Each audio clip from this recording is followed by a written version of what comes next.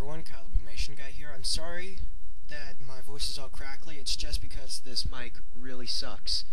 But anyway, what we have here is the new Halo 3 Series 6 um, all-terrain vehicle Mongoose. Uh, I got it at Target today, and I know you're like, what? Uh, but the only reason that it's at Target, I guess, is because uh, you can only buy them online and at conventions. People didn't like that because that got pretty expensive. So I guess by popular demand, they started selling them in stores. So here's the box, and just so you know, it doesn't come with these two figures. It comes with that orange Spartan Mark V there. This is just gameplay footage. And here's a picture at the back. It's in French and in Spanish and in English all on the back. McFarlane.com slash Halo. Picture of what you get. This guy doesn't come with any guns, which kind of sucks. Um, it shows you that it, you can get another Spartan action figure and just put it on the back, which I might end up doing eventually. It shows all the posability. It says some assembly required on the front, but that's the box, and let's take a look at the figure himself. First, you want to open it up on the inside. Now, I've only opened this once, but I have not taken the figure out, so just go like this, and just put the box aside. Little plastic piece that, here, it might be a little dark. Um, sorry about that. It's really dark in my room now. Angle the camera down. So as you can see here, has a little piece of plastic that goes on top of it, so that it doesn't get crushed. I'll put that off to the side. And here is the ATV mongoose, whatever you want to call it.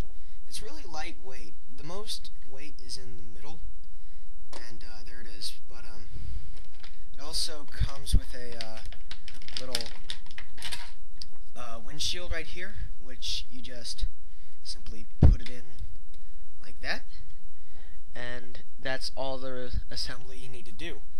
And there's the Spartan, right there, Spartan Mark V. Uh, he's orange, but uh, he doesn't come with any guns, as I mentioned before, which really sucks because I like it when they have guns. So I'll just. The only thing holding this thing in is a twist tie right here, which I'll get untwisted. Uh, crap. Uh, okay, listen. Okay, here we go. So, take the twist tie off. Here he is. As you can kind of... Ah, it fell. Oh well. But as you can see here, he kind of has strange swivel joints right here, unlike ones which go forward and back. This thing goes side to side and a little bit forward, but not back like at all. It goes side to side just a little bit, mainly so it can fit on here, and I'm going to do that later. The knees bend, it's and it turns kind of like a ball joint. Uh, thing I've had with uh, Halo figures before is they have the knees and they're like swivel joints, but they're always really tight. It has uh, posable toes.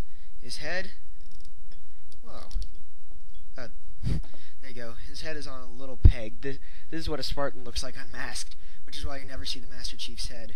And uh, so his head is kind of tucked back in there, and it only looks up, but it kind of gets pulled out of this little peg right here. So just put that in. Uh, pretty much the same posability as a normal Spartan figure, except for the waist. So let's uh, see how I can put them in here. So I, I, this is the first time I've done this, so I guess I just separate the legs, bend the knees just a tad, uh, put it up like that, and uh, turn the hand around. And it shows here his hand is in the shape of uh, what it would be like if he was holding a rifle, but he doesn't come with a rifle, which really sucks.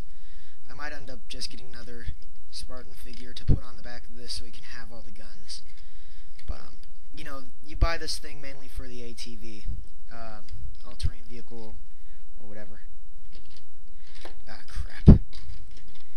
Sorry if you can't see this on camera. I'm trying to do the the attachment thing and uh, and look at the camera at the same time. So can you give me a little leeway here? I guess so. Okay, I think I got it. Uh, yep, I got it. Kind of. He's not really sitting down. He's kind of hovering right above it. I don't know how to do that. Maybe. Yeah, there's another set of right here. You can kind of see here. Let me just get ah great. Now his gun hand is stuck in there. Ah, I'll just put him off to the side. But what you can do, I guess, is um, take this and it's like a posable foot thing. And back here, uh, if you want to, I guess this is supposed to be a seat. Right here, you see a little seat. Just comes up and down like that.